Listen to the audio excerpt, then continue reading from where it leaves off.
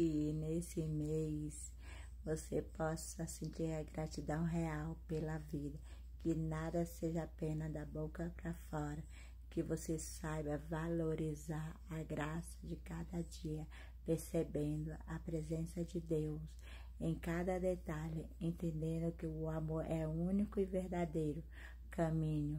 Então peça sabedoria a Deus todos os dias para você viver entre cobras e leões, para você se calar e fingir demência, para você não perder a razão e nem seu equilíbrio, a sua saúde mental, sabedoria para você seguir em frente, saber escolher boas escolhas, ser grato por tudo aquilo que você tem, sabedoria para você esperar o tempo de Deus.